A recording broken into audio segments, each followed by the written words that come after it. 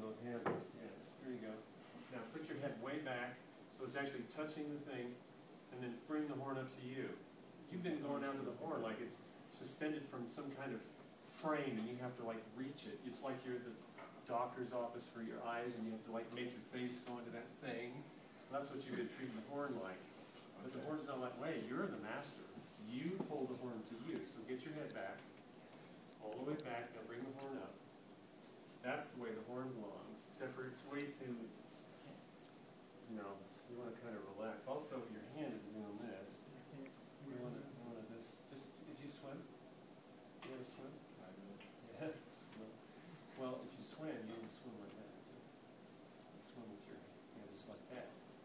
And you don't swim that way either. That way. And it goes into the bell, and let me show you how to know when it's far enough in.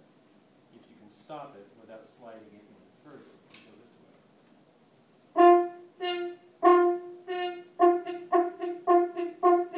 If you got it there, that's where it belongs. Try that and see if you can stop it without sliding it any further in. You ever stopped the horn before? What? Yeah. You have. So what I want you to do is play me C. Play me C. No, no, no, the one, what I did. Just do what I did.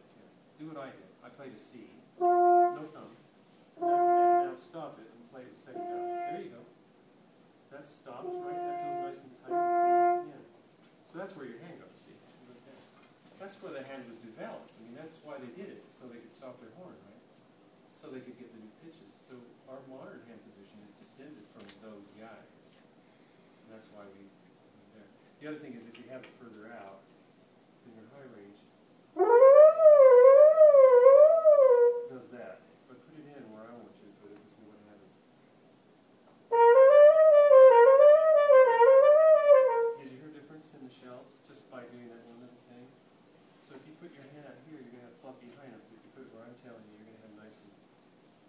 cleaner notes. Okay, so, and then, I don't like to see a guy have the horn out here in space, because what I have found is that the most stable plane we've got is when you anchor it as many places as you can.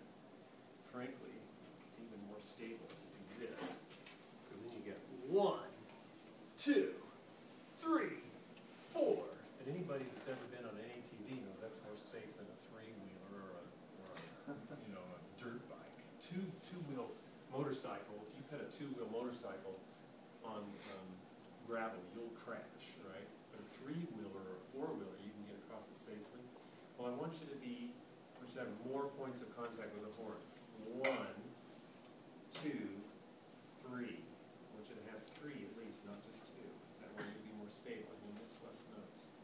So, so what I want you to do is something very difficult in front of like human bodies like this. Come back, and I want you to play the part you're ready, because you're just tentative over here. It's like, oh my gosh, I